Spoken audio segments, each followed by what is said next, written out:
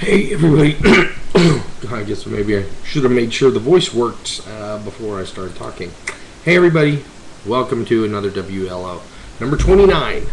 Um, I think I'm off a day, so we're just gonna throw that day out the window and start new. Anyway, today today was a good day, weigh-in day, and um, 296.8, and I am two pounds away from my initial when you join weight watchers they give you like your initial goal should be 5% of your weight.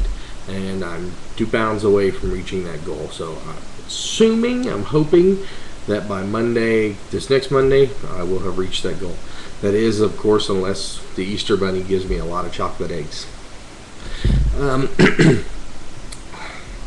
that's about it today I got my workout in in the morning and got an extra workout uh, around lunchtime. Had a nice small meal. Had a nice little small meal for lunch or for dinner. Uh, keeping it keeping it sensible. Um, not getting out of control, and um, just trying to stay positive. That's the biggest thing right now for me is to stay focused and positive.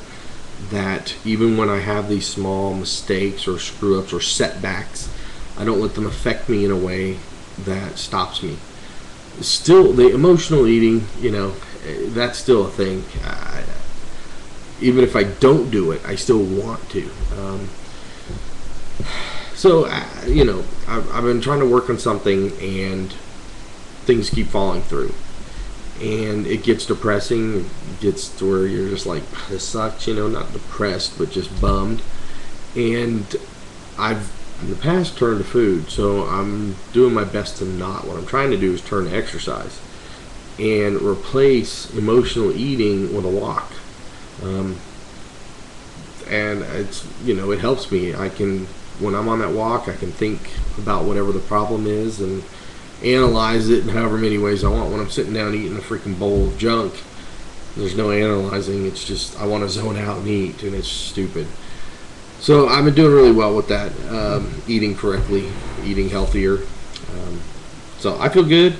Things are going good, and um, the reason I keep umming is because there's something I was going to say, and I can't flip and remember what it was. I said it this morning, and it was great, profound vision and, and thought of something, and I've lost it. It's too late. Uh, I'm I have a website and I'm revamping it, so I'm spending a lot of time on it, and it's time for bed. Like actually, I'm about an hour late getting to bed, and uh, but I'm not letting that stop me from getting up and working out in the morning.